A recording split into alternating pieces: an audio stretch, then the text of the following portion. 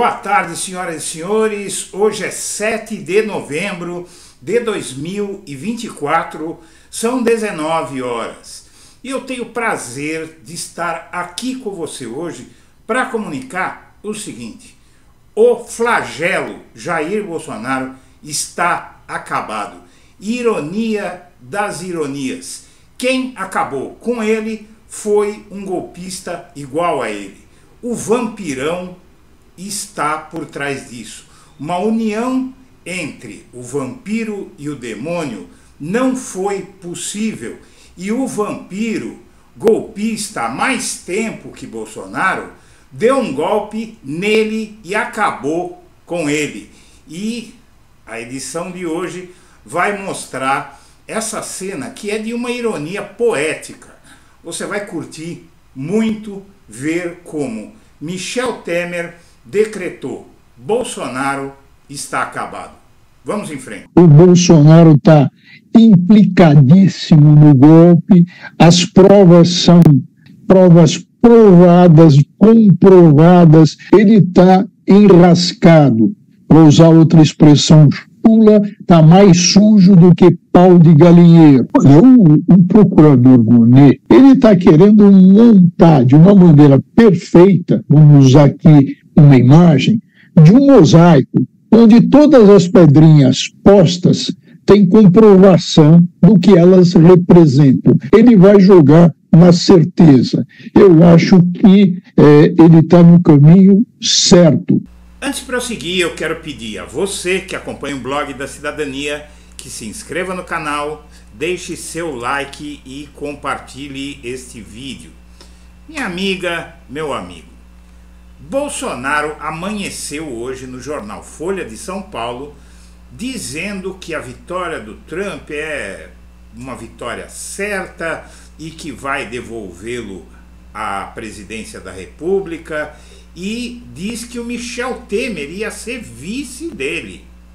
Veja só, ele simplesmente jogou isso como quem uh, vai até a cozinha e toma um copo d'água. Jogou que o Michel Temer seria vice dele. De onde ele tirou isso? De um blog lá de Curitiba, o blog do Ismael, que apareceu com essa história aqui. Bolsonaro estuda Michel Temer como vice nas eleições. Acontece que não adianta o Bolsonaro estudar nada. Né? O Bolsonaro pode estudar o que ele quiser, mas ele pode é, querer o que ele quiser, mas precisa de ver se o Michel Temer está disposto. E aí foram perguntar para o Michel Temer o que é que ele acha dessa história.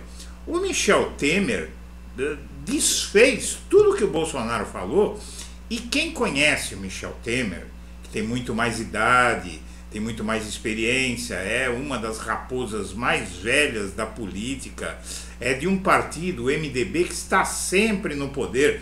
Você veja que na eleição que acaba de terminar em São Paulo, o MDB, que é aliado do governo Lula, virou inimigo figadal do governo Lula aqui em São Paulo.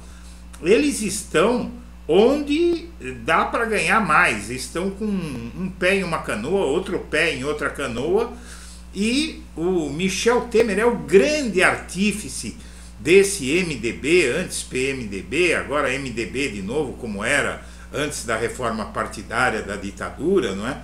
Uh, o Michel Temer é o grande artífice atualmente desse MDB que está sempre no poder e que não perde nunca, porque está sempre do lado que ganha.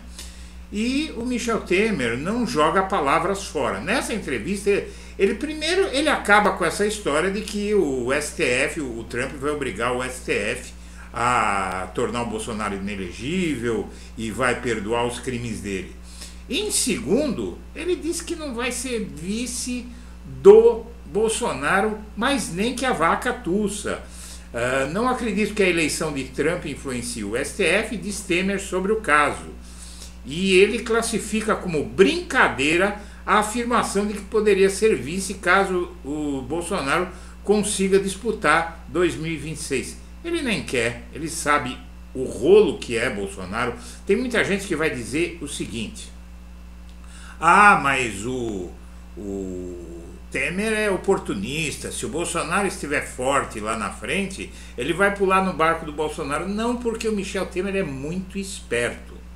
Ele sabe muito bem que se acontecesse uma coisa como essa, que não vai acontecer, porque quem indicou o Alexandre de Moraes para o STF foi o Temer. Ele conhece o Alexandre de Moraes tão bem quanto ele conhece a si mesmo. E ele sabe o estilo, como age o Alexandre de Moraes, e é um jurista de renome aqui em São Paulo. Né? Eu conheço o Michel Temer, não pessoalmente, né? nunca tive relações com ele, mas conheço a fama dele aqui em São Paulo. Inclusive nem é tão boa assim, né? Mas isso é outra história.